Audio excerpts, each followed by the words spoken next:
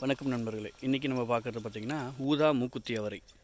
மூக்குத்தி அவரை வந்து கேரளா சைடு நல்லா காட்டுத்தனமாக விளையக்கூட ஒரு பயிராக இருக்குது இந்த இடத்துல நம்ம தமிழகத்துலேயும் ஓரளவுக்கு சிறப்பாகவே வரக்கூடிய ஒரு பயிராக இருக்குது அது ஆடிப்பட்டத்தில் போடும்போது ரொம்ப சிறப்பாக வருது. இது வந்து ஆடி கடைசியில் போட்ட விதை தான் மூக்குத்தி அவரையில் மொத்தம் ஒரு நாலு ரகம் இருக்குங்க.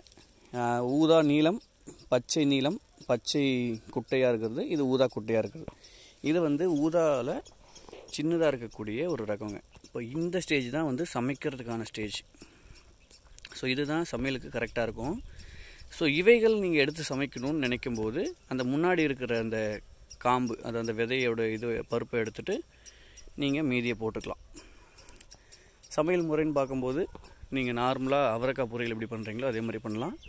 கொஞ்சம் பருப்பு போட்டு கூட்டு செய்கிற மாதிரி செய்யலாம். கறி குழம்பு வைக்கிற மாதிரியும் நீங்கள் மசாலா அரிசி போட்டு செய்யும்போது ரொம்ப ருசியாக இருக்கும். இது ஒவ்வொரு செடிக்குமே அதாவது பச்சைன்னு பார்த்தீங்கன்னாக்கா உங்களுக்கு பூ வந்து ஊதா கலரில் இருக்கும். விதை வந்து கருப்பாக இருக்கும்.